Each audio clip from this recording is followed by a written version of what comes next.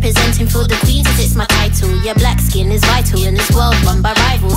Every cycle, they wanna erase us like the Bible. But that can never run cause we resurface just like vinyls. So listen up, queens. Your skin equals elite. As many shades there are, your undertone unique. Thick coiled hair 4A to 4C. That's why your box braids stay neat and your highlight pops